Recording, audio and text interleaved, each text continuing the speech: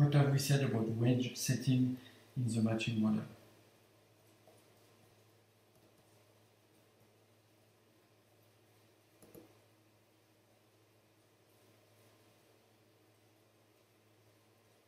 So first of all, uh, that we've said is that the properties of the wage W are key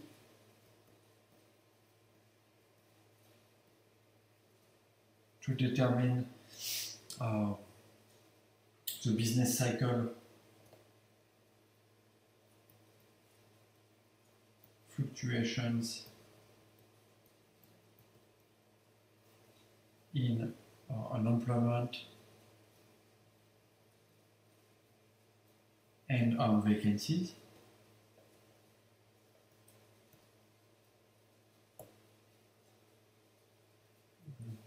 So that's the first first point. It's quite important. Second point is that uh, the wage W. Um, so here we're really not in a competitive market where there is a market wage and everybody is paid the same. Uh, so, or you're not, you know, in say like a, a monopoly world where um, you know, there is one wage that's set by, uh, say, a big union or something like that, or a monopoly world where the one wage set by a big firm for everybody. So here, the wage W is specific to each worker firm pair. And you know, it's not impossible that firms decide to pay all their workers the same or that workers ask all for the same wage. But there's no presumption that that's going to be the case. Here, the, the default is that the wage is really specific to each worker firm pair. Okay? Um, so that's going to be uh, quite interesting. So, it, and, and worker and firms, I know that what's going to determine the wage is just what happens, you know, when the worker and the firm meet, when they've agreed to work together. Okay, uh, and so in fact, because now the wage, uh, so here because we don't have uh, a market wage,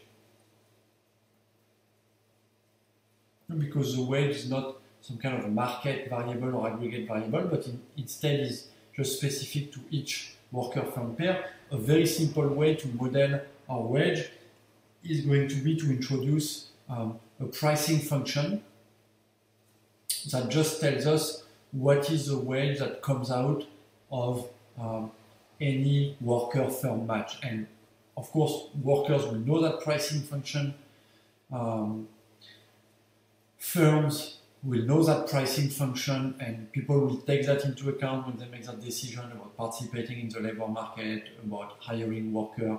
It's a little bit like we have the production function that everybody knows that tells us um, how firms are able to use labor to produce goods and services. We have the matching function that tells us how vacant jobs and unemployed workers get together and how many of them uh, are able to meet each other at any point in time. Then we have a pricing function that describe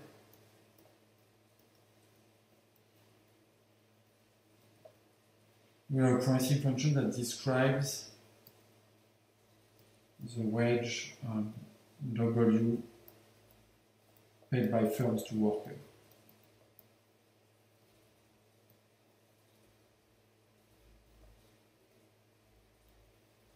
And of course, um, different pricing functions because the wage is just you know it's just one price, it's the price of labor. So different pricing function will have um, very different implication for what's going to happen in the model. Um, and so we'll, can, we'll cover the most typical pricing functions that are studied in the literature. Um, we'll cover the pr pricing functions that are the most realistic based on what we see happen on the labor market. And for each different pricing function that gives a different wage, we're going to say, uh, we're going to see uh, you know what what the properties of the model are. Okay? And so some something that's important. So not only the properties of the wage are key, the wage is going to be given by a pricing function. The third thing that's very important to realize is that there are many possible pricing functions. So in the same way that there are many possible production functions, there are many possible matching functions, uh, there, there are many possible um, pricing functions.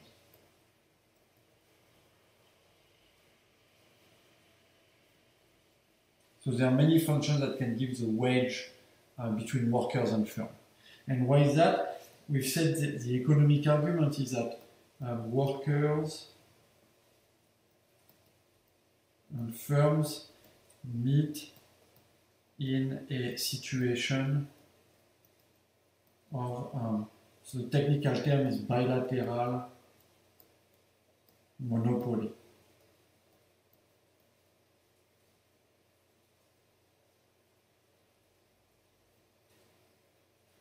So the concept of bilateral monopoly has been around for a very long time, since the 19th century.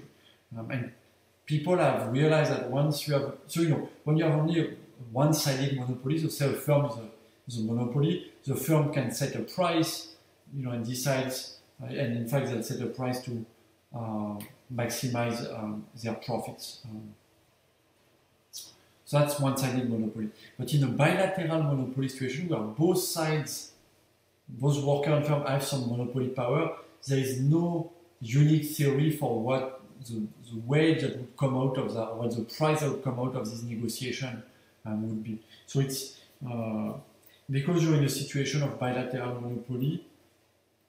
In fact, uh, there are many. The key result is that there are many um, possible prices you know, that could arise. Um, in this situation.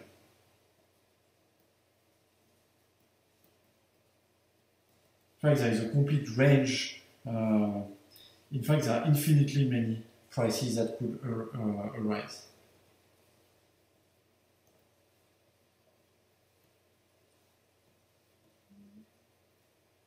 within a range. Okay. Um,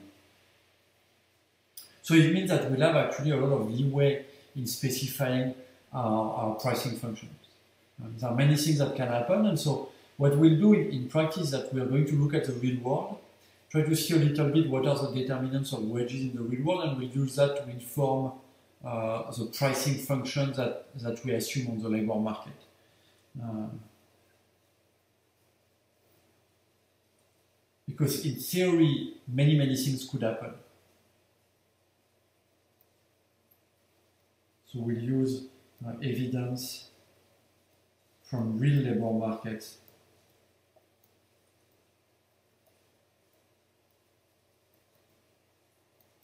to specify our pricing function. Our function that gives a wage between firms and uh, between firms and workers. So that's very much the same approach as what we did with the matching function. We said, okay, there's a matching function that says um, how workers and firms uh, get together. But then we looked, you know, at the empirical evidence, and the empirical evidence suggests that your matching functions have constant returns to scale, and so on and so forth. And so we use that uh, when we made assumption about the matching function. So here we do exactly the same. We're going to look at the evidence to try to um, specify our pricing function. Last thing I wanted to say, so bilateral monopoly. Uh, so what does that mean? Just uh, as I said earlier, so it means that each, both workers and, and firms have some bargaining power.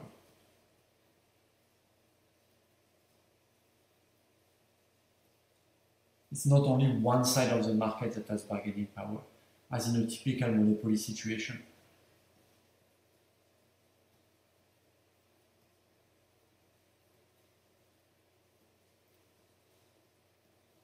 The reason why, just uh, to wrap up, the reason why is that it's difficult to find a new trading partner. So it's difficult for firms to find a new worker and for workers to find a new firm.